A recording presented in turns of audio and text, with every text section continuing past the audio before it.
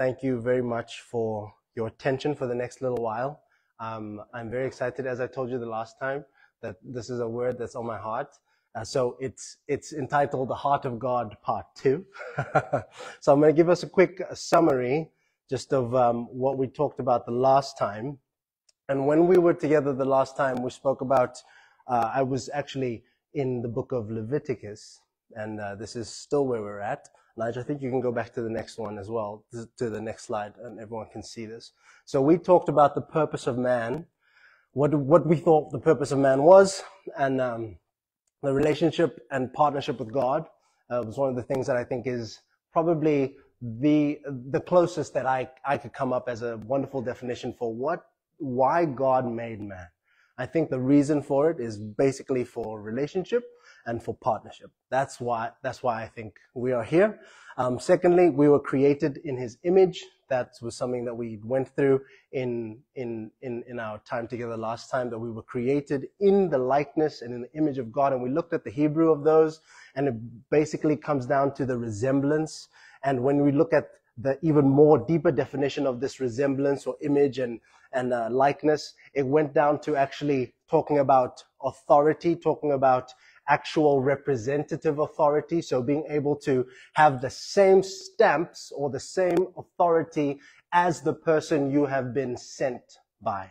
To be able to act in accordance with that person, to be able to act in accordance as if you are um, as if that person was there himself, right? So if someone is coming from the king's court, they are respected as if the king himself has been, has come to visit and they're given the same kind of respect and honor, right? In the same sense, we understand that status and authority is what was given to us because as we looked in Genesis, when Adam and Eve were given a, a commission, I guess it's the first commission um, to man, which was to look after the Garden of Eden, to tend to the, to, to, to look after the garden, look after everything, uh, have dominion and all of that. We were given a certain kind of status a certain kind of authority on this earthly realm, right? We're not talking about authority that spreads uh, through all the realms as if we are God, because we are not God. We were just given a resemblance, a likeness, a stamp that allows us to function in a certain capacity on the realm that he has ordained us to. Secondly, we were given responsibility to take care to take care of it, not just to be the ones who are the officiants and the ones who are ruling over it, but to actually take care of it.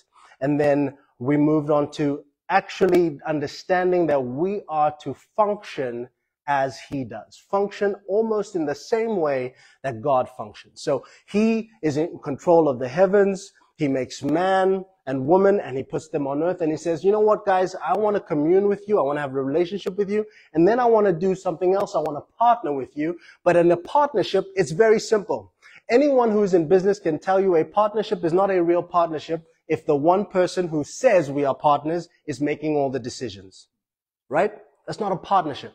So in if in, actuality, what God then does when he says, I want you to function like I do, I want you to partner with me, is that he places us here on earth and he says, we're going to be in relationship. I'm, I'm going to be the alpha CEO. I'm the main CEO. I'm the person you come to with any of your problems. But as you are on the earth, you make the decisions. You make the decisions. You look after everything. I just want a report back now and then. I want us to have regular board meetings every day if, if it's okay with you. And I want those board meetings to be as long as possible if that's okay with you. And then you can go and do whatever you want to do and enjoy the, enjoy the life that I've given you and enjoy the things I've, I've given you, right? So that's the plan. So you and I, let me not say you and I, let me say our first parents, Adam and Eve, they were placed here so that they could function like God, like their father, right? Function with him, but not forget one other thing, which was relationship. I, I, I put it to you in a central question or a central statement why the book of Leviticus was so important to me and my message to you last time and, and why what the heart of God could have been in, in, in conjunction with the purpose of why he made man. And I said to you, this was my central statement, no one else's. I just made this on up myself felt led to say, the story of the Bible is that of a holy God restoring holiness to his people who bear his image.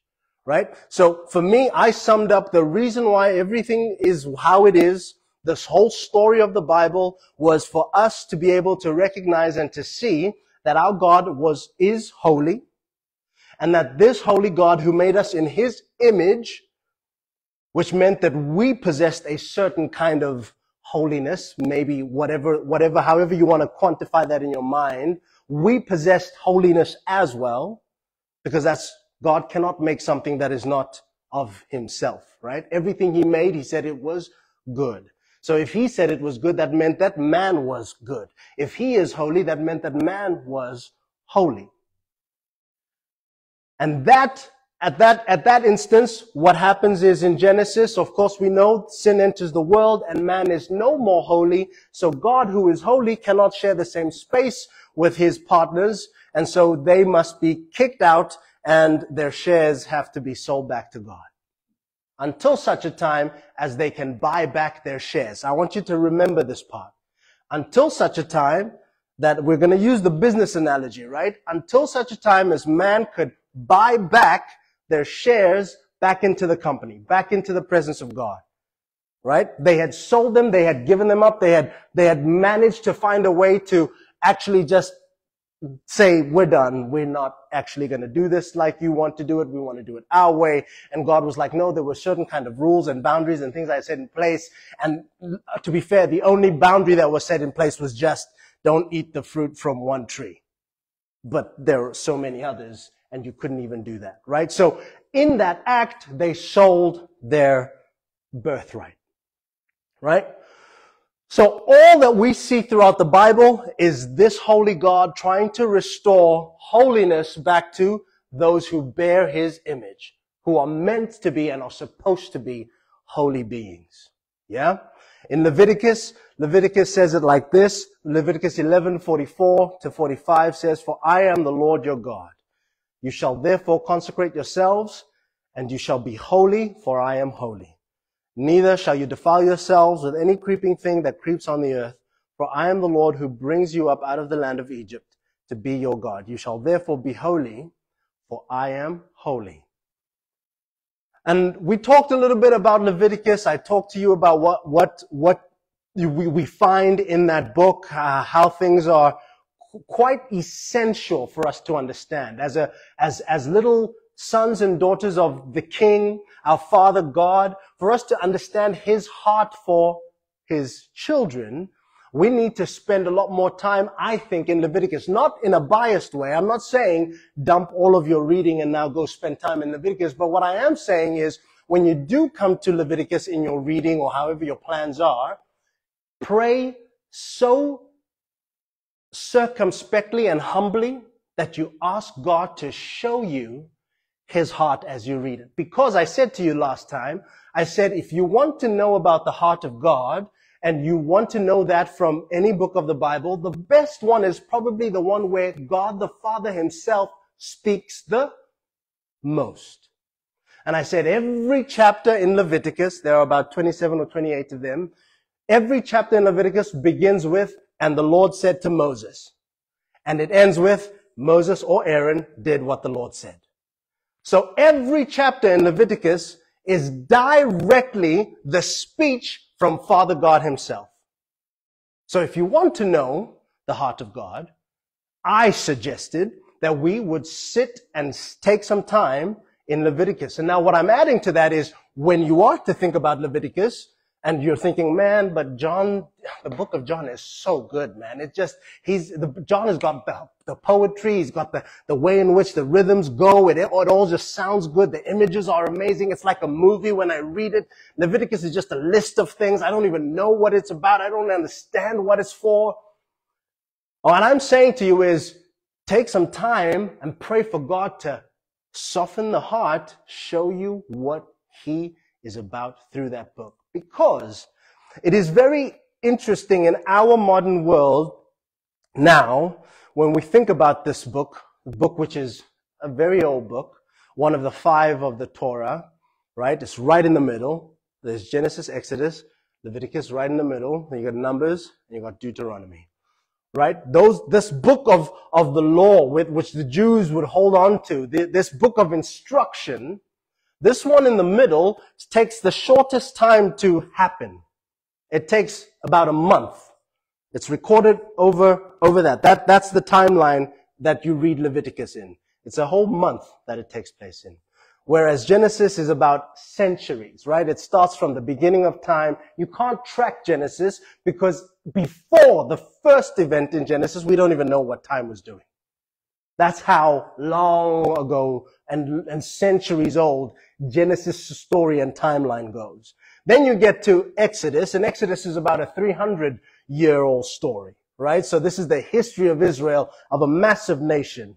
And then you get to Leviticus where it even zones down even more and it goes into a little tribe, the, the, this, this tribe that is supposed to now be the, the priesthood, the, the, the royal priesthood that is going to help this nation be able to come and commune and be with a holy God who has decided to place himself within a tent, a tabernacle, and they are to travel with him as his manifest presence.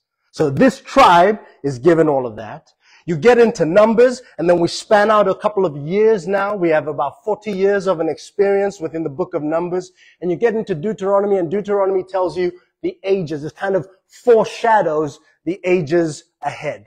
So that's another centuries old. So this, this five book, um, volume, this, this, this lovely collection of, of the law in these books does this outside to inside focus when it looks at Leviticus. And we want to look at it and go, okay, so why is it then it's an important piece of what we have to digest as a modern Christian society? And I, I, I put it to you this way. So Leviticus, in its actual function, most of it has got nothing to do with you now. If you read it, you can have wonderful debates with people on the street as to why you don't, you're supposed, you're eating pork, but you're not supposed to eat pork. You're eating this and you're not supposed to eat that. That's what Leviticus says. You can have very entertaining discussions about that. If you choose to stop there, if you choose to just go, okay, this was the book, I, I either follow the Bible to the letter or I don't. And that's a healthy debate for you to want to consider too. But I, I, I would suggest that we need to understand that that's not the place that we're at. We don't take the Bible, we take the Bible literally, of course, but within the right context of each and every event and in time that it takes place. But we do not have to apply every single thing to our daily living. Does that make sense? Because to, to be honest with you, a lot of Leviticus does not a, a, a, apply to you anymore. But that is because the book of this particular law was fulfilled through Jesus Christ. I want to read a quote um, to you. Now, you don't have to get to it. We'll, we'll get to it later on, but, but it feels like just as I've been flowing, I'm ahead of myself already. So I'm just going to read it to you. You'll see it in the slides as we get there later on.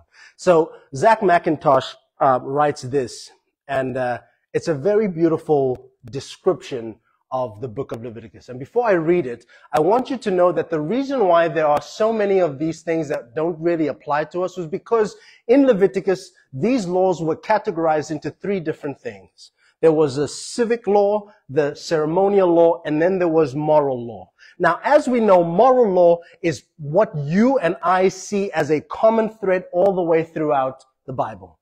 All the way before even the law was instituted, moral law was placed in your and I's conscience. So when Cain and Abel, when Cain and Abel are brothers and Cain decides to off his brother, that's moral law already being taken place because he has judgment that is passed on him. He is not supposed to murder. It's as simple as that. Murder is part of those moral things that we know. Excuse me. Frog in the throat. Okay, I think we're going to be okay. Let's keep going. So moral law is a very important thing that we, we cannot argue about. We are in a world that will argue about it because, of course, it is not something that everyone is happy about. Moral law is like any rule. Anyone who finds any umbrage with any kind of issue is going to want to have it their way. That's our flesh. That's our way of being fallen and removed away from this holy God. And then there was this civil law. And civil law talked about how you and I were going to do business together, how you and I were going to live in a society together. And then there was ceremonial law. And ceremonial law had a lot to do with how you were going to be restored or you were going to come and pay your, um, your, your, your penance to the King of Kings, to, to God himself.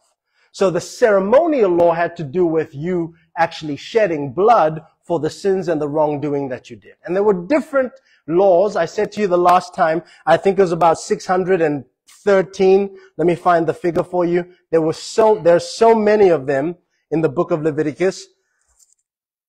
Excuse me. There are so many in the, in the Old Testament, about 613 laws and 251 are found in the book of Leviticus right? So you can see this whole tribe that is in, that is responsible for all of this, this, this priesthood that is responsible for coming and making this be the actual ordinances of God. And this must be how this whole nation lives.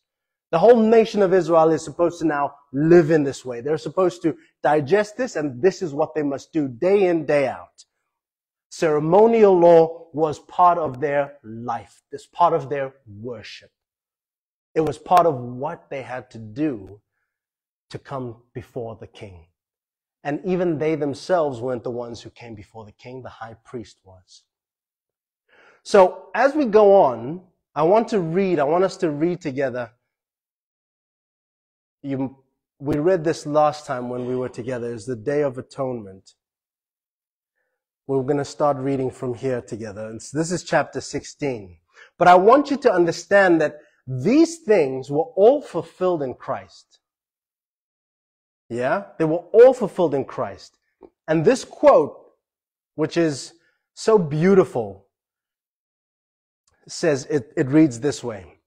We read every law through the lens of what Christ taught, what he has done, and what he fulfilled. He took the capital punishment of the civil law that all of us as sinners deserve when we die on the cross. So anything and everything that went wrong between you and someone, your neighbor, your ox bashed into a neighbor and killed him or injured him, all of the stuff that happened, just civil law, Jesus went and took the punishment for that. He put an end to the sacrificial law by being the better sacrifice. Sacrificial law, meaning that you and I had to make sure our goats were ready, uh, all of our offerings were ready so that we could go ahead and have these given to the high priest and the high priest would then go ahead and spill blood so that our sins would be forgiven. Jesus was the better sacrifice and we'll talk a bit about that today. And he lived a perfectly moral life in our stead so that we could be declared righteous in God's sight.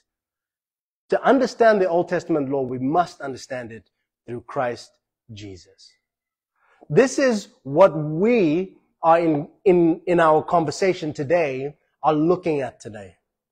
Everything that is important for you and I to experience when we read the Old Testament is to frame your thinking and understand that in that time, these folks had to do so much just to come into the presence of God or just to be in right standing with God.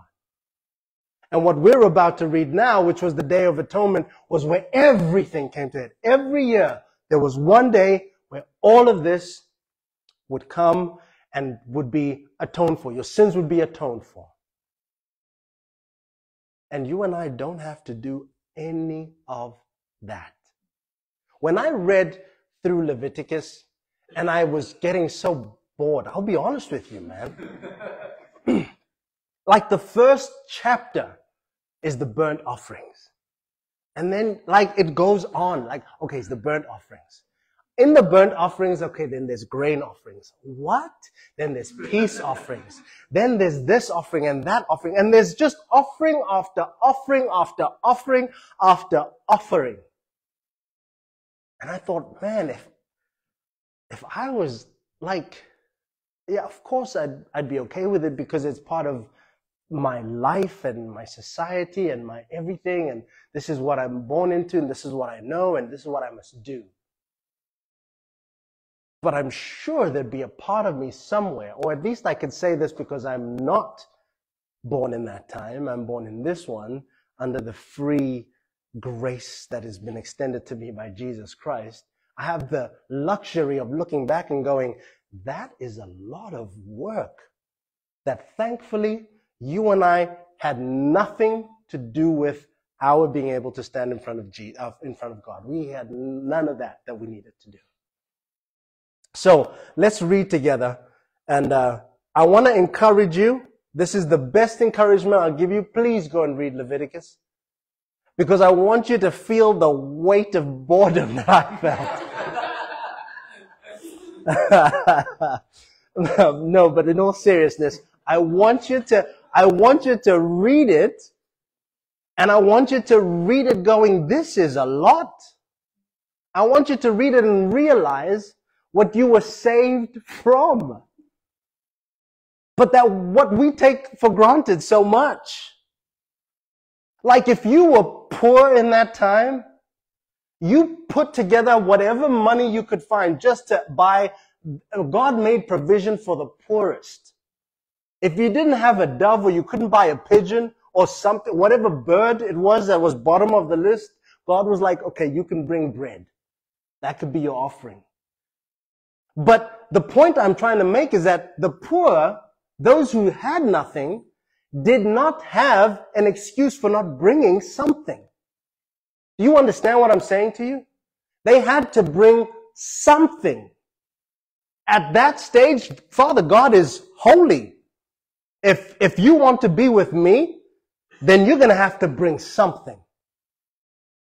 You have to bring something. That is another thing I want you to note down there. You have to bring something. It's not going to be a dove or a loaf of bread or anything like that. It's not going to be a pigeon. But in the new dispensation, in, in, in what Christ has, has made affordable to us and, and, and available to us, the principles still apply which is what we, we miss when we read Leviticus or Numbers or anything like that. We miss it. We think because it doesn't apply to me, there aren't any principles that apply to me. And that's not true. There are still principles that apply to us when we read books like Leviticus because there is a kind of attitude that is present in what the Father wants his children to exhibit. There is a kind of response that is talked about from the first word to the last in that whole book that is about the attitude that the Father expects his children to have when they come to worship. Now, it is not legalistic anymore. It is not about um, doing the right stuff. It is not necessarily about this is what you do and this is regimented and, and these are the, the ceremonial acts that you do. It is not that. Of course it's not that. And thank you that it's not that, Lord Jesus. But there is something in the dedication, in the desire, and in the fact that they know that their God expects something. Tonight was so beautiful in these words that was that were shared um, by the Spirit because the point about this banquet that Heather was was was speaking so beautifully about and praying over us God expects you there. He expects you there. But many of us in our life experience of sometimes of our Christianity, we kind of think that God, because He has given His Son on the cross, that there isn't anything else that I need to actually then do. And that couldn't be further from the truth. There is still so much that God wants you to do. What is great about what he wants you to do is that it's all to do with an abundance of life. It's all to do with restoring you to this place of authority again. It's all to do with getting you back to the place where you are at the head and not the tail with him. That you are a conqueror through him. That you are able to speak life into others because of him. That you are able to see your life and navigate the challenges that come because of him. But many a times we miss what is on, on the, on the, on the, on the table for us. We miss what's in front of us. Because we don't understand that these chapters or this story, this very seemingly difficult, and I, I will give Leviticus props here. Apparently it is not the least read book in the Bible. Another book, Obadiah, has taken that crown. Apparently, Obadiah is the least read book in Christian circles. So I must give Leviticus props. Um, Leviticus is actually being read by Christians and by us, which is really good. I think how we read it is different. I think we can improve on that quite a bit. All right, let's read. Let's read. This is from the um, ESV. So we're going to read. And as we read, I'm just going to unpack scripture with us. I, I don't plan to keep us here for a very long time, but I really want you to get the heart behind what God's heart is for his people. Which is why when you get out of here on, on, on this Sunday evening and you go to work tomorrow and you see your colleague and you go, man, my Holy Father wants you to return back to holiness too. My Holy Father wants you to become what He has wanted you to be. My Holy Father wants you to be released from whatever bondages you, you, you are struggling with or trapped in. That you can have the same heart that the Father has. Because this whole story through Jesus Christ is about you and I being able to return to holiness. It is the only reason why we'll be able to be in the same room and presence of God. You cannot come to God without having, uh, without being holy. Now, before I, I read, I'm sorry, I have to unpack all of this. Now, there are different stages of sanctification, right? We have been sanctified, we are being sanctified, and we will be sanctified. We have been Jesus dying on the cross. Being our actual steady walk with Jesus, choosing Him, choosing to live a pure life, will be when He comes again. Does that make sense? So yeah, so I'm not saying that as you sit here, you and I have reached holiness. I'm not saying that. What I'm saying is because Jesus is in your heart and Jesus is in your life, you do possess a holiness that allows you to come before the Father straight through. No veils, no nothing. Comes before the Father. And that you definitely need because God is not going to sit with anyone who does not have that in his presence. He's not going to, a holy God is not going to be like, yes, I'm going to sit love, happily with you in my presence. I'm not talking about, hear me very clearly because I can see how it might be understood. I'm not talking about you and I not being at a place where, where we struggle with things, we are sinners, sinners on the street. I'm not talking about that. Of course, God has made grace and has made mercy available. He's made all of that available for us to come before Him and sit at His feet. And that's the point. What I'm talking about is that there was a price that had to be paid for you and I to be able to be in the presence of God. Do you understand me? Does that make sense?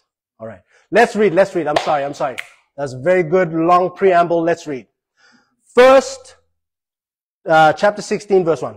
The Lord spoke to Moses after the death of the two sons of Aaron when they drew near before the Lord and died.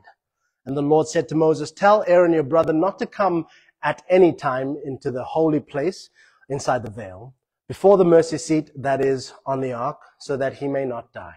For I will appear in the cloud over the mercy seat. But in this way, Aaron shall come into the holy place with a bull from the herd for a sin offering and a ram for a burnt offering. He shall put on the holy linen coat and shall have the linen undergarment on his body. And he shall tie the linen sash around his waist and wear the linen turban. These are the holy garments. He shall bathe his body in water and then put them on. And he shall take from the congregation of the people of Israel two male goats for a sin offering and a ram and one ram for a burnt offering. Now I want to, I want to pause here and say to you that Aaron is of the family that is going to be the high priest. His sons will be part of this lineage for the history of Israel, right?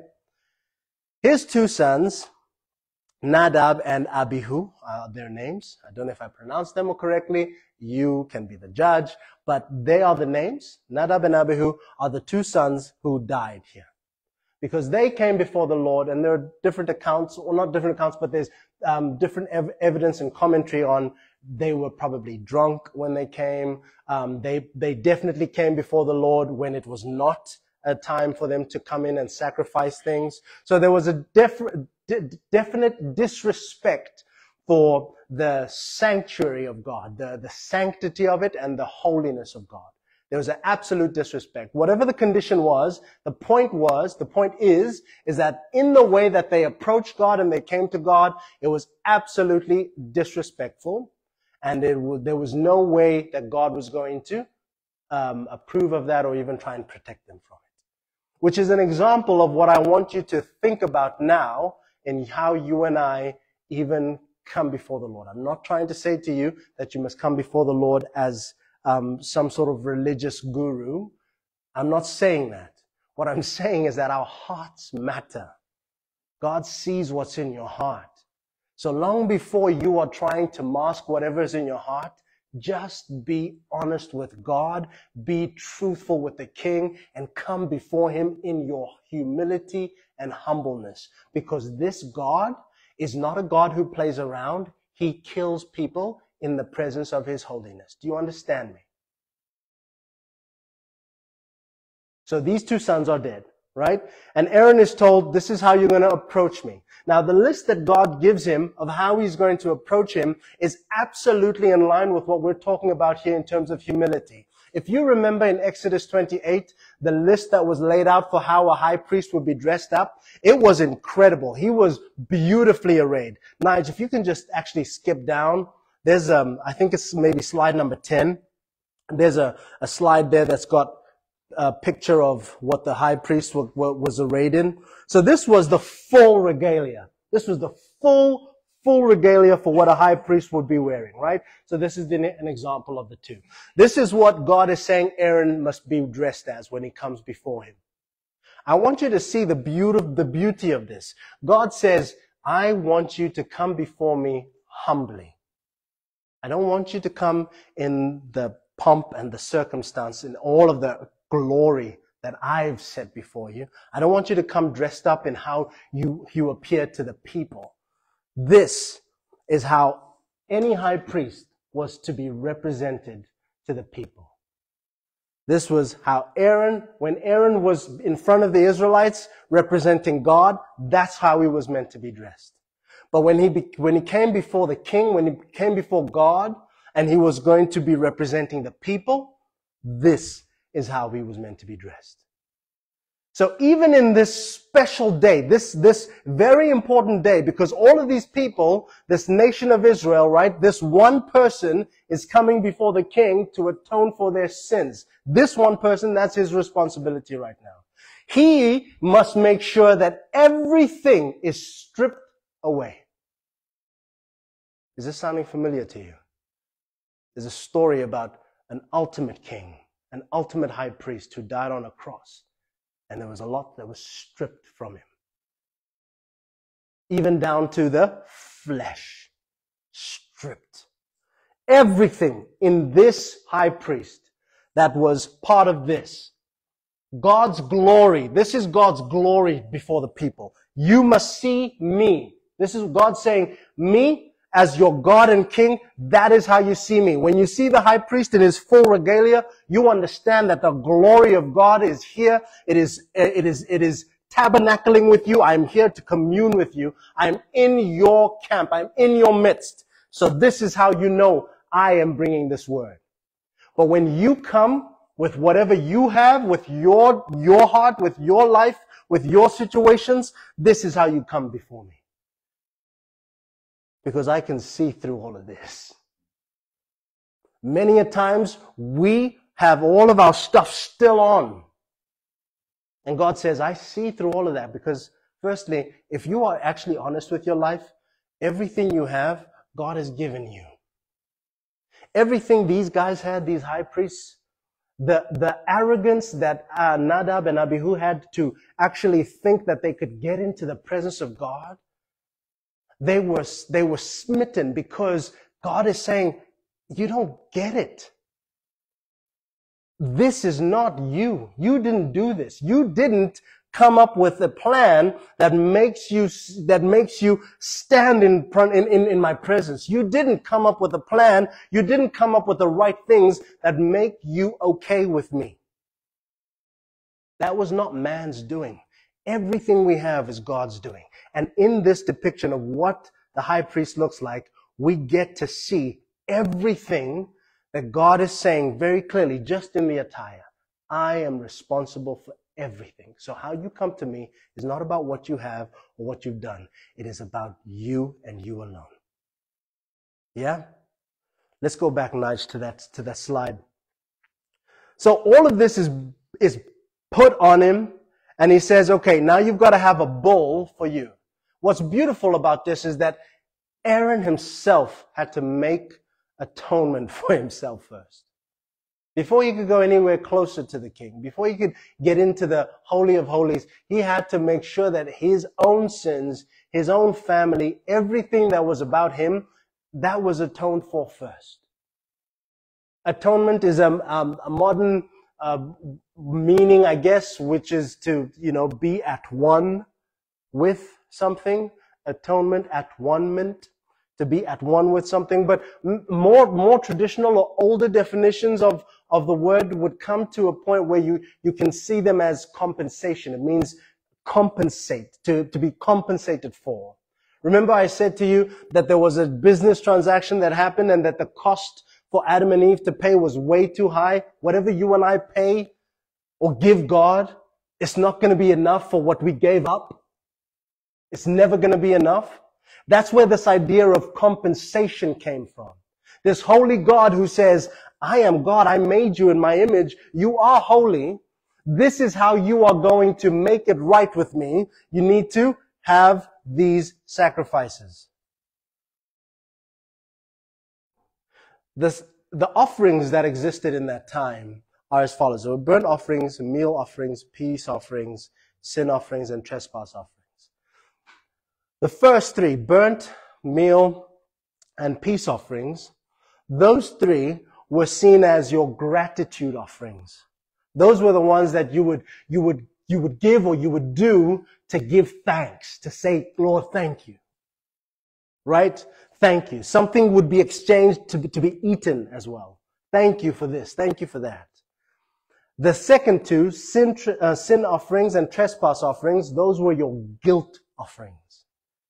There was a certain amount of guilt that you and I amass when we live as sinful beings.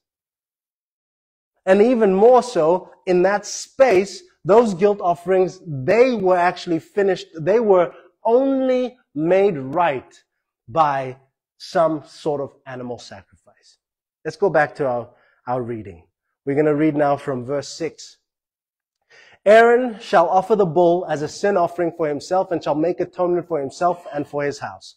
Then he shall take the two goats and set them before the Lord at the entrance of the tent of meeting, and Aaron shall cast lots over the two goats, one lot for the Lord and the other lot for Azazel.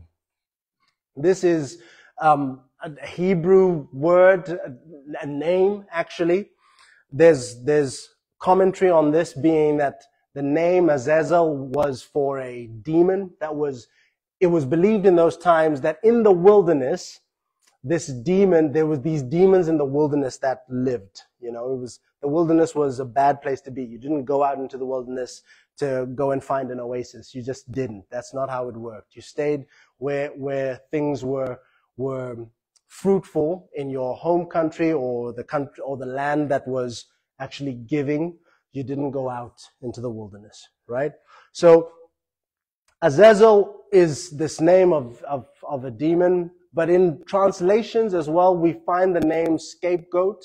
Um, part of the commentaries, it's not important for us right now to think of these goats or this goat being atoned for that, that the Lord was atoning to a demon. That's not what this is talking about. What it's talking about is mostly the fact that what was happening at the time was that all of whatever was going to be sacrificed, this scapegoat, this goat that was going to be given also for the, uh, the sins of the people, it was to be sent out into the wilderness as far as it could go. And there was no telling where it was going to go, no telling what was going to happen to it, or what, it was not appeasing the quote unquote demon. But Azza, the, the, the word, the first AZ, is, um, is the word goat. Azel, Azazel, is the word go away. So basically the name came as a go away goat. This is what this Azazel is. But also there was also links to this demon because that's part of what the life um, philosophies or thinkings and beliefs were in that time. So that's where we get our scapegoat terminology from, because as it, as a translation is, it's a go away goat. But the idea behind this go away goat is so that you know that what was going to happen to the sins or the iniquities of these people, once a year, this goat would be sent far away. It reminds us of the scripture of how God says he'll remove our sins as far as the east is from the west. Yeah? So that was this shepherding or this ushering of this goat. Let's read verse 9. And Aaron shall represent the goat on which the lot fell for the Lord and use it as a sin offering. But the goat on which the lot fell for Azazel shall be presented alive and the Lord to make atonement over it. And it may be sent away into the wilderness to Azazel. So this goat will be sent out. All right. Let's keep reading. Verse 11. Aaron shall present the bull as a sin offering for himself and sh- Am I reading the same thing? No. And shall make atonement for himself for, and for his house. He shall kill the bull as a sin offering for himself. And he shall take a censer full of coals of fire from the altar before the Lord and two handfuls of sweet incense beaten small, and he shall bring it inside the veil and put the incense on the fire before the Lord, that the cloud of the incense may cover the mercy seat that is over the testimony so that he does not die. And he shall take some of the blood of the blood and sprinkle it with his finger on the front of the mercy seat on the east side. And in front of the mercy seat he shall sprinkle the blood of, he shall sprinkle some of the blood with his finger seven times. Let's keep going. Verse 15. Then he shall kill the goat of the sin offering that is for the people I just want you to listen to all the language, okay? This is what one person must do on this whole day, all right? As you are sitting here being like, man, this is a lot of scripture of just what this guy is doing, I want you to think of how you would have to do the same thing if you were high priest, okay? Then he must kill the goat of the sin offering that is for the people and bring its blood inside the veil and do with its blood as he did with the blood of the goat, sprinkling it over the mercy seat and in front of the mercy seat. Thus he shall make atonement for the holy place because of the uncleanness of the people of Israel and because of their transgressions, all of their sins. And so he shall do for the tent of meeting which dwells with them in the midst of their uncleanness. No one may be in the tent of meeting from the time he enters to make atonement in the holy place until he comes out of the, out and has made atonement for himself and his house and for all the assembly of Israel. Then he shall go out of the, out to the altar that is before the Lord and make atonement for it. And he shall take some blood of the bull and some of the, and some of the blood of the goat and put it on the horns of the altar all around. And he shall sprinkle some of the blood on, on it with his finger seven times and cleanse it and consecrate it from the uncleanness of the people of Israel. This is only verse 19. I think there are like 10 more verses. This guy's done a whole day's worth of work. Do you understand how much work it is to, to like slaughter an animal? He's, he, must, he's, he's, he must slaughter a bull, and then there's a goat he must slaughter. All of that requires work. Work. Okay? One thing I want to just pause here as we've, as we've stopped at verse 19 is that this book of Leviticus also introduces something that is very important for us to understand. It's the idea of things that are holy and things that are common, how those are in opposition, things that are clean and things that are unclean. Throughout the entire Old Testament, that's the story that we read. We read how they're supposed to eat this, they're not supposed to eat that. When they done, they've, they've done this, they should do that to cleanse themselves. They have to wash so many times. They have to do all of this idea of clean and unclean, um, common and, and, and holy. These things are things that God needed to stipulate because ultimately they have a certain kind of bearing on his heart. Holiness is important to God as well as purity. Now, is holiness and purity, are they the same thing? No, they're not. Can you be holy and not pure? Yes. Because you can say yes to Jesus. You've already gotten holiness because of Jesus' holiness that's in you. But you, you can also not be pure because of the decisions you make day to day. Does that make sense? Now, this is the, the, the minutia of detail that God had to go through because that is what's required if you want to be in His presence. So they had to make sure that they were atoning for all of that. What could get them into a right place of holiness and what could get them into a right place of purity, of cleanliness. Okay? It's important for us to see this. Let's keep going. And when he has made an end of atoning for the holy place and the tent of meeting and the altar, he shall present the live goat. The holy place, even the tabernacle, God was like, even this, Aaron, you are going to atone for it. You're going to have to make atonement for it because it is in the camp with the people who are also unclean. So the actual tent, the actual tabernacle, the actual thing, God was like, down to this thing that I live in, you will make atonement for it. Because the, the mere fact that there is sin that exists in the, in the camp is enough for us to be at odds. So where you are going to be making the, the atonement, where you are going to be making the actual sacrifices, the actual um, um, um, pleading of people to be cleansed, that too must be must be cleansed. Okay? Verse 21. And Aaron shall lay both hands on the head of the live goat and confess over it the iniquities of the people of Israel and all their transgressions, all their sins. And he shall put them on the head of the goat and send it away into the wilderness by the hand of a man who is in readiness. The goat shall bear all the iniquities on itself to a remote area, and he shall let the goat free in the wilderness. This is what I talked about a little bit earlier to say that there is something very beautiful about what happens here. You can see a whole lot of similarities of the importance of what is what Jesus has done on the cross already just in these few verses. I want to point out to you the idea of this goat and this portion of it. Everyone in Israel was meant to see this. This was a public portion, right? The laying on of both hands, the sin, all of it being laid on on this goat. The poor goat is is, is, an, is a willing partner, uh, party in, in this transaction. It has, it bears no sin, but it is a willing partner, participant. You must remember that as well. This is an animal that is not, it has not accrued any kind of sin in its life. It is an animal that is now the representation of what everyone in Israel is going to lay on. This was laid on the head of the goat both hands laid on the head on the goat. This goat then is seen, everyone must see how this goat is led out from the city, out of the city walls, into the wilderness. In the same way that Jesus was crucified outside of the city.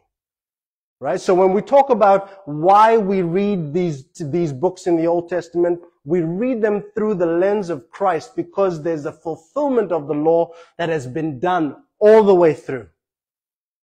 It is for you to go and make sure you study those and you see them and you get enriched by how Christ has fulfilled the law to the T.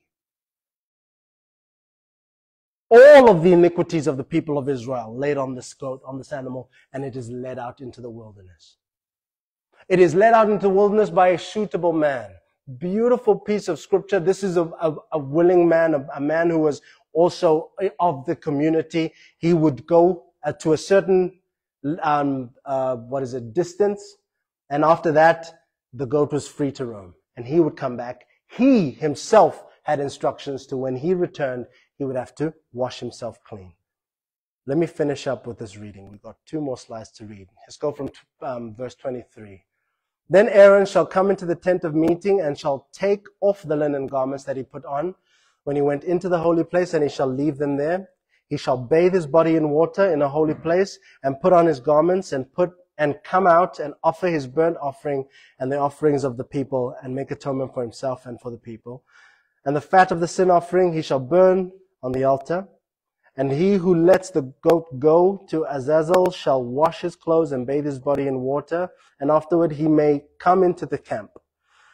And the bull of the, and the bull for the sin offering and the goat for the sin offering, whose blood was brought in to make atonement in the holy place, shall be carried outside the camp. Their skin and their flesh and their dung shall be burnt up with fire. And he who burns them shall wash his clothes and bathe his body in water. And afterward he may come into the camp. Last slide. Thank you for your resilience. And it shall be a statute for you forever that in the seventh month on the tenth day of the month, so roughly around September, October, you shall afflict yourselves. You shall do no work, either the native or the stranger who sojourns among you. For on this day shall atonement be made for you to cleanse you. You shall be clean before the Lord for all your sins. It is a Sabbath of solemn rest to you, and you shall afflict yourselves. Basically, you shall deny yourselves, right? It is a statute forever. And the priest who is anointed and consecrated as a priest in his father's place shall make atonement wearing the holy linen garments. He shall make atonement for the holy sanctuary, and he shall make atonement for the tent of meeting and the altar, and he shall make atonement for the priests and for all the people of the assembly. And this shall be a statute forever to you, that atonement may be made for the people of Israel once a year, once in a year, because of their sins. And Aaron did as the Lord commanded Moses.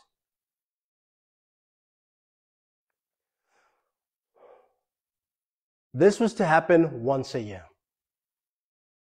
On this once a year, these folks would have their sins forgiven. You and I live under a different grace. Hebrews 7 26 to 28 says, Nigel, you can go to this one. Um, it's after that. For it is indeed fitting that we should have such a high priest, holy, innocent, unstained, separated from sinners, and exalted above the heavens. He has no need, like those high priests, to offer sacrifices daily.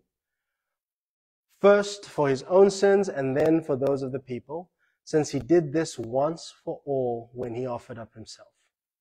For the law appoints men in their weaknesses as high priests, but the word of the oath, which came later than the law, appoints a son who is to be made perfect forever. Jesus, as we know, is our ultimate high priest. Christ fulfills all things sacrificial, all things ceremonial, and all things civil. In Christ, the atonement of sins extends, goes beyond, and is a finished work. What remains for you and me, who possess this um, gift of life eternal, what remains for you and me who have this ability now to come close to the Father whenever we want to, whenever you want to. What remains for you and me is what I said right at the beginning. Our heart response. We, through reading this book, can learn a little bit about the heart of God. My question to you is, okay, what do you think God, God wants our hearts to be toward Him? Because you can spend a whole lot of time studying scripture, looking through scripture, understanding who God is and what the, who, who he is as a father. It is all good and well. But at the end of the day, this part of the story of the Bible, this part of the story for me, when I read through Leviticus and I see everything that has to be done, I'm left with a few things. One of those things is that there is a response that God requires from you and I. After we are called sons and daughters, there is a response that is not passive, an active response. We are borderline, majority of us in how we engage with Christianity is somewhat reserved. And when I say reserved, I mean that with respect. When I say even conservative, I mean that with respect. Some of us are very happy to have the badge of Christendom and cross over into the next life. And God says, okay, cool, that's, that's fine. Hey, look, I, I'm happy for that. But there is something that also burns in the heart of the Father, I believe, that goes beyond just the rescue effort that he's been able to put in place. Remember, before Adam and Eve would do what they did, God knew that he'd have a plan to sort it out. So this didn't just happen. When they eat from the apple, it doesn't just go, oh my goodness, now they're gone, they're lost, my children, I'm never going to see them again. He goes, okay, cool. They did make that decision. This is what I'm going to then put in place. Now here's the rescue effort. Then the rescue effort happens. But then in Matthew 28, if you have your Bibles with me, very well known portion of scripture. It's not up on the slides. You all know it very well. It's right at the end. I mean, you can read it for yourself. I'm not even going to read it for you, but I'm just going to read the title of, of the pericope, which is the Great Commission. So at that stage, Jesus comes and he fulfills everything, right? So two years, 2000 years ago, the great rescue mission was fulfilled. It was done. Cool. It's set in place. Now anyone who calls on me, on me, believes in their heart and confesses with their mouth, that person is saved. That's it. But then Jesus says, okay, this is my father who has sent me. He has given me a second part of my rescue mission which is you and I are now restored in, when we go back to the first slide, we're restored in our relationship and partnership. The Great Commission comes and it says this, we are now partners again.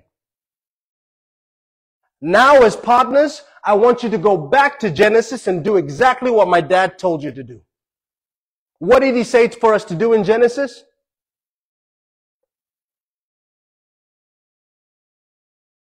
Genesis 1. When he, when he made man and he looked at the world and everything was good, what did he say to us? Well, to our first parents, Adam and Eve, what did he say? Be fruitful, multiply, have, have dominion over? Right, right, right, right, right, right, right. Everybody's awake. Yeah, we're awake. All right, so he says, okay, be fruitful, multiply, have dominion. What did Jesus come and do in, in 28, in Matthew 28? The same thing. Different words, but it's the same heart of the Father. Which means then that after he came and he made sure that you and I were back in right relationship, were back in partnership with him, Jesus comes and he says, my Father's will is the same as mine and I want to make it yours. So if you want to know what God's uh, response for you or God's expectation for you is, more than just becoming right with him, it's a, it's a two-part deal. Remember, it's a two-part deal. I didn't say to you that God was restoring holiness just because he wants relationship. I said God is restoring holiness because he wants partnership as well as relationship. So the two go together. We sometimes treat relationship as the most important thing and we forget the partnership. I'm not saying that relationship isn't important, Because we also, in this church, I'm very proud to say that in this church, we make it a point to make sure that we understand that God desires relationship more than he desires the flashy things that you have done. What we're getting to here is we want to make sure that the heartbeat that, that is for God is the same as what it is in scripture. And that heartbeat is this. I want you to go and I want you to spread the gospel. I want you to make sure that everyone knows what it is. I want you to go ahead and I want you to take it back. I want the same thing that you have experienced for others to experience too. I want you to make sure that all of this happens. And lo and behold, listen, I'm going to help you this time because the last time I left you alone and you actually messed everything up. But this time I'm going to be with you till the end. Do you understand what's going on here? So Jesus says the heart of the Father is you and I are still partnering together. I still want your partnership. I still want your relationship. And I'm going to even do more this time around. I'm going to step in with you, which means I'm going to be in you. I'm going to be with you every day. When you're in that office with those people who are just love those swear words coming so nice and easy. It's almost like it's English when they live and breathe it. Or when you are with people who are, who are so happy to just live that life that you're like, man, that is so dangerous. And they don't understand you and they don't really appreciate you and they look at your lifestyle or they look at who you believe in and what you believe in and they go, that is so outdated. You are so square. You don't even have any room for fun. You are gray. All I see is gray. As a human being, you are gray. Look at my life. It is so colorful. I go party. I go do this. I go do that. I do all of these things. And Jesus says, it is in this situation that you and I are here, sent from the Father. This is the situation that we were sent for. Because that person was you. That person was you. Now, you are coveting relationship with me so much that you're you're forgetting the deal we not the deal i don't want to say it like that because then it sounds like you're in this for a transaction and that's not the truth. God didn't make this happen for it to be transactional but god did make it mm, want to make it very clear that there is something that he does expect from us. If that wasn't the case matthew 28 would not have been there either when jesus says when it's, when it's written Great Commission, it is very specific in the wording. Co-mission. Co, together, mission. To mission together. That's literally what that last, those last three verses are when you read them. You and I are, whether we like it or not, this is part of what we've got to reconcile. People out there think they have to be a certain way before they come to God. But you and I have sat, sat through an hour plus because Sifiso can't keep quiet. He's just rambled on for about an hour telling you about how Leviticus was such an incredible book of such an immense detail of God's desire for his people to actually be able to come and be with him. James goes even further and says, this is what the Father says. Draw near to me and I will draw near to you. That was not the speech of Leviticus. That was not the speech of the Old Testament from the king. But God himself understands that because of what he, he sent his son to do, and his son did such a great job doing it, you and I are in a space where we can actually experience what it means to have relationship and draw near but I'm wanting to awaken our hearts and our spirits and our conscience that a relationship is as important because it must produce a desire to see others reconciled with Christ. And if it does not produce a desire to see others reconciled with Christ,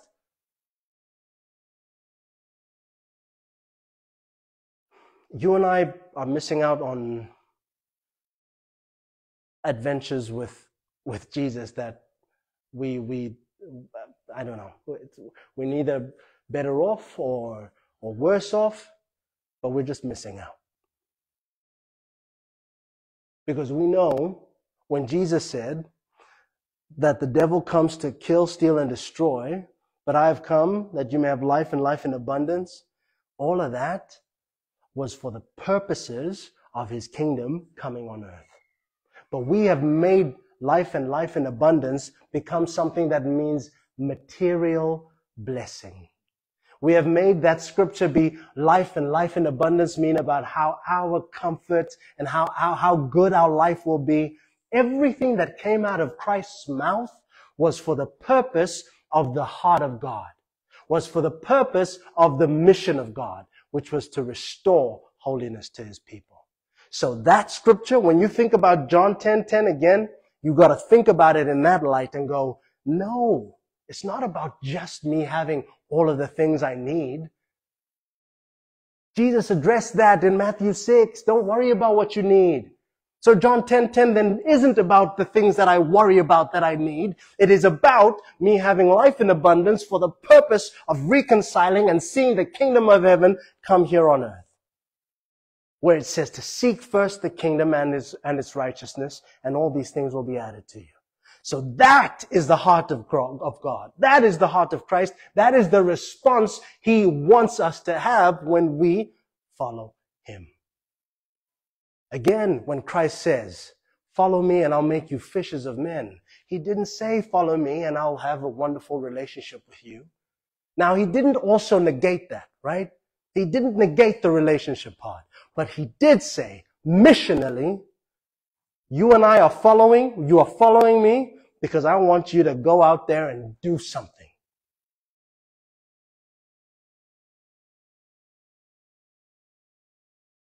My heart for you secretly is to turn you all into evangelists.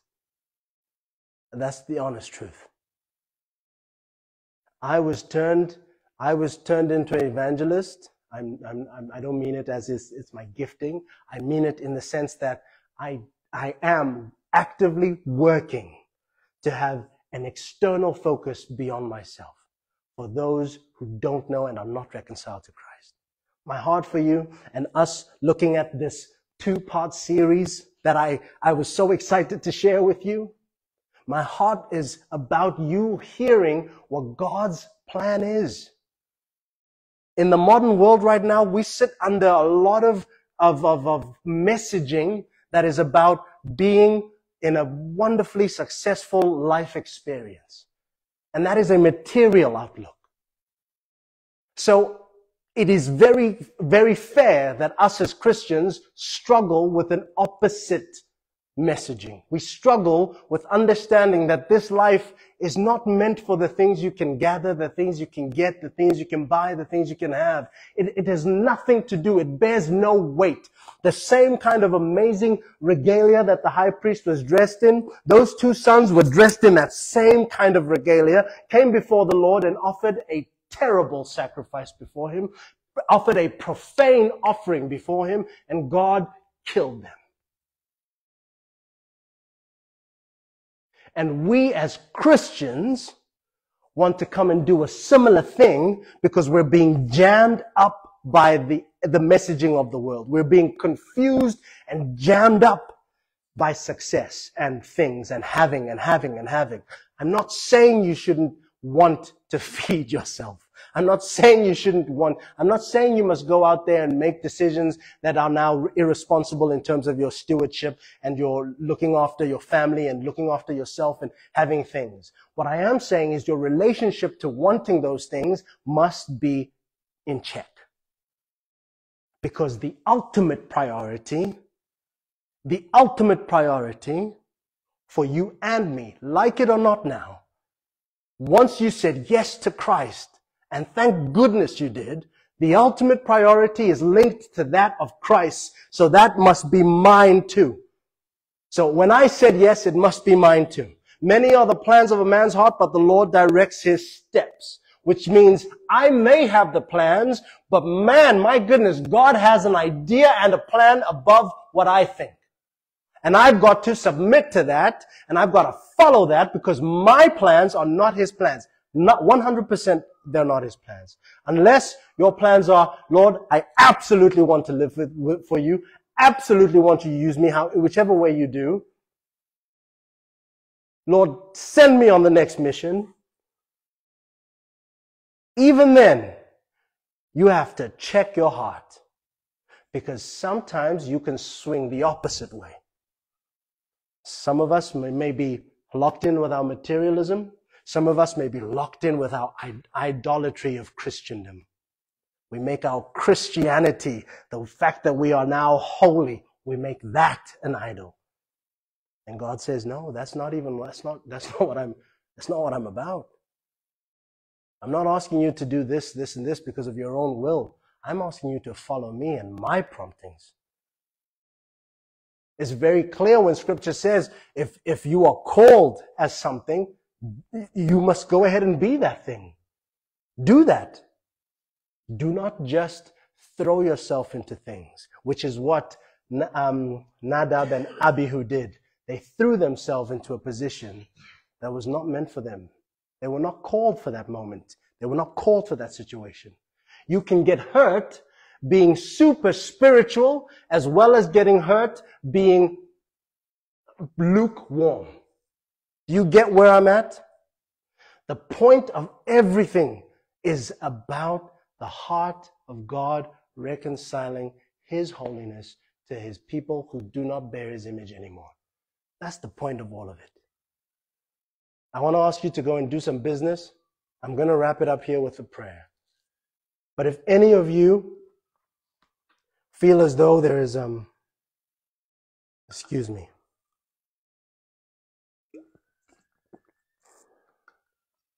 if anyone tonight needs prayer, please come. Let's pray.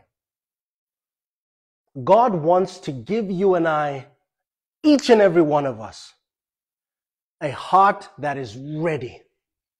Ready. Ready for what He wants, when He wants it, how He wants it. God wants you to possess within you the heart He has for those you engage with and walk across the street with, um, at work with, all of it. He wants you to have that heart every day. Freely you receive now, freely give. And, and I, if I was to ask you, when you heard that verse, be honest with me, the first thing, was that about money? Was that about you thinking about giving money? Was that about you thinking about giving stuff?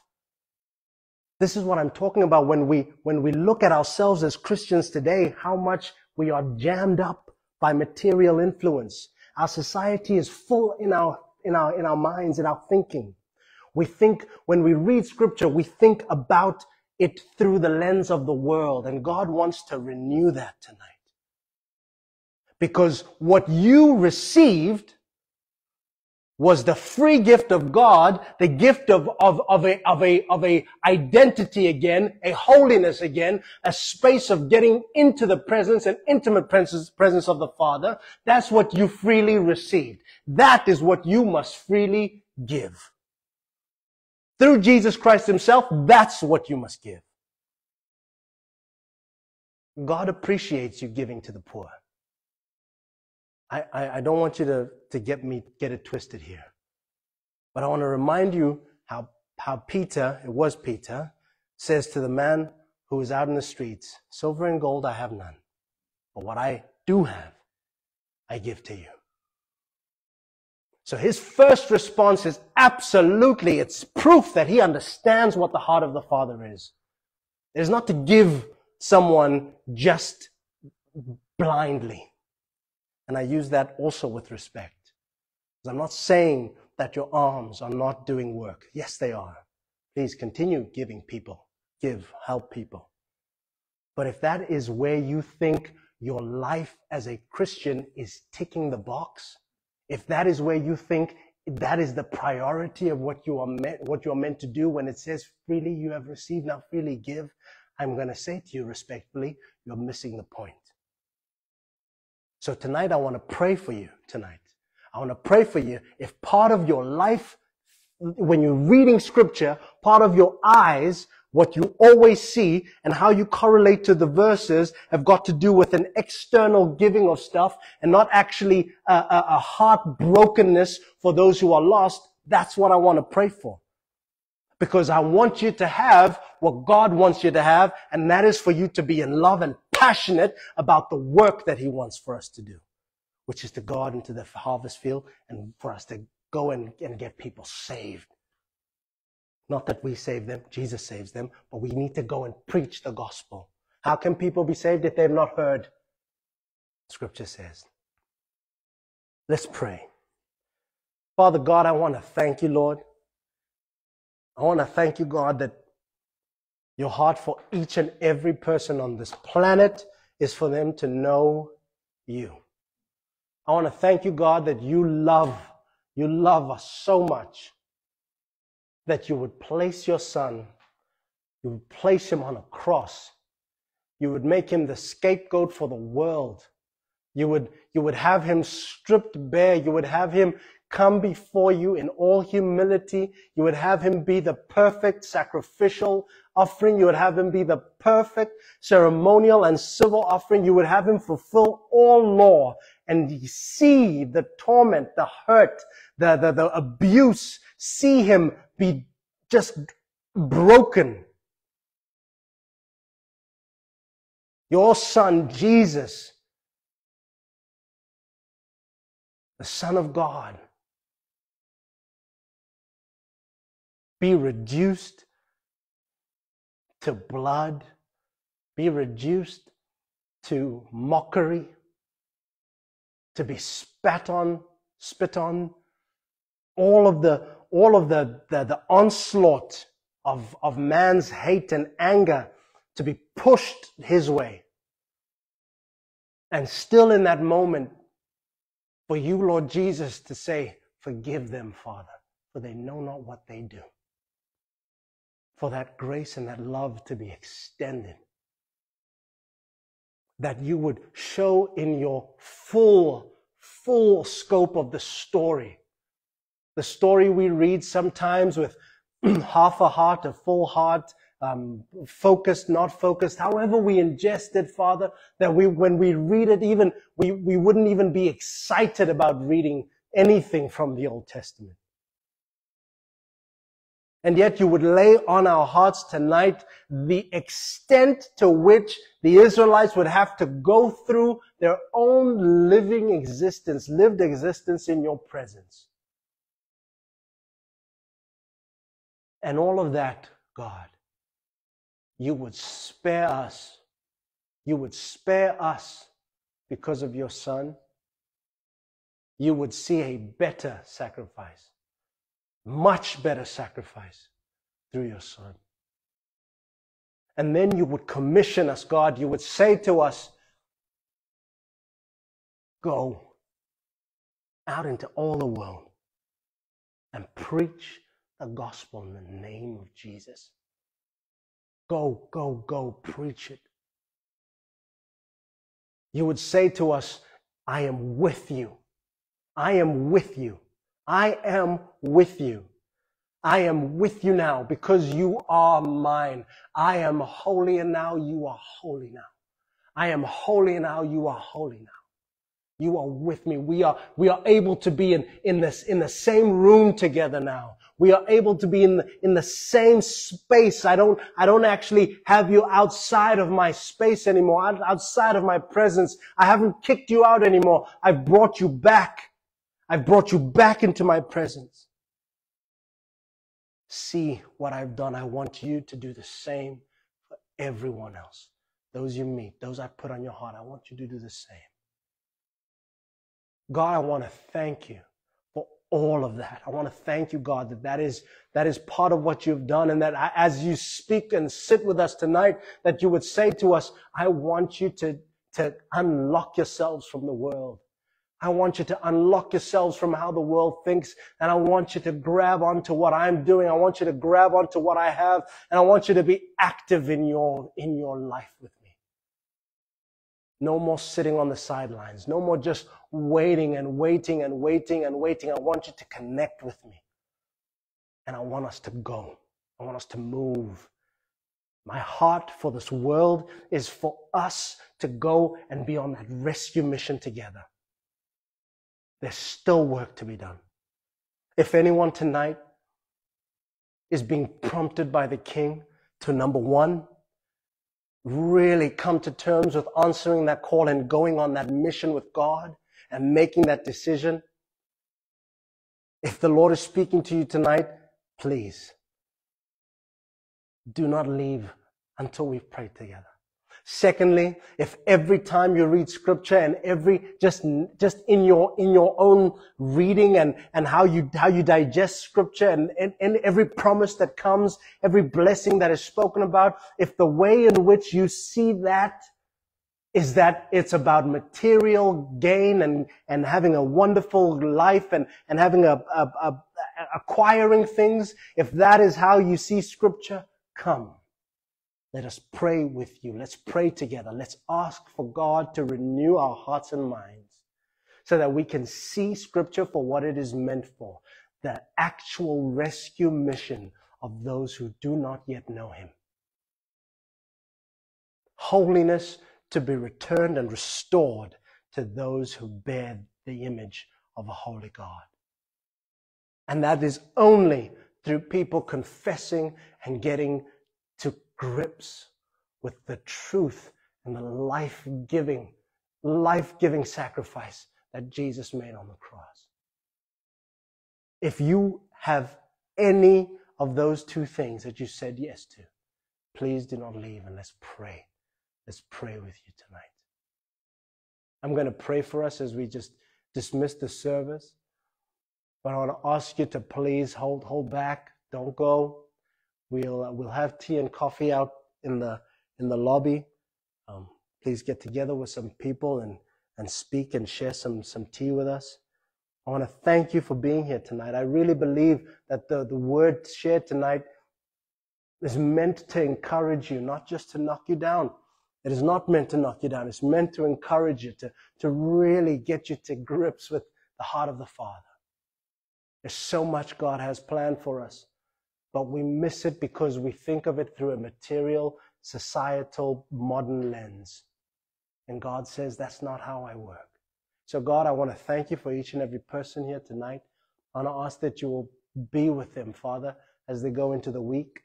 I want to thank you, Father, for their challenges, each and everything that they might be going through, Father God, that you would give wisdom in how they should navigate it, that you'd give them such incredible tips and, and, and, and a helping hand, Lord, that you would come and comfort for those who are hurting, that you would come and be a, a, a, a support and a help for those who, who need it, God. I want to thank you, God, for your love for us tonight, that we could feel your absolute call and your absolute love enveloping us tonight. I want to thank you for your peace, Jesus, that goes with us.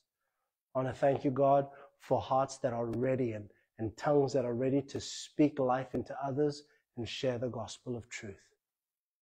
I pray, Father God, for your, for your anointing on each and every person, that they will go out into this world, our Father, knowing that you have gone ahead.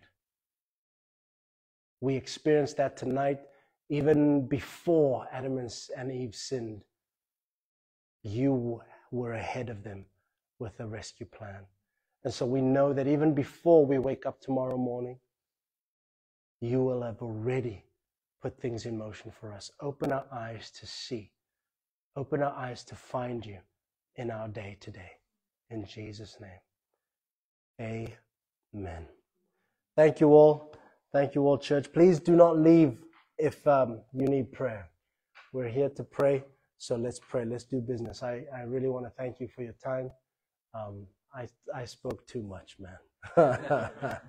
but thank you, God. Thank you, God. God is faithful. It's something I'm very passionate about. So um, if, if you want to just talk, let's talk.